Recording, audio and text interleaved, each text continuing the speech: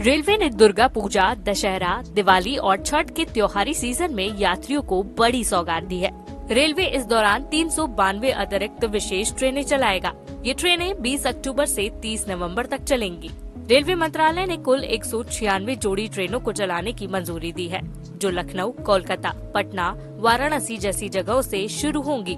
Festival special ट्रेनें super fast होंगी, इसलिए इनकी स्पीड कम से कम 55 किलोमीटर प्रति घंटे होगी।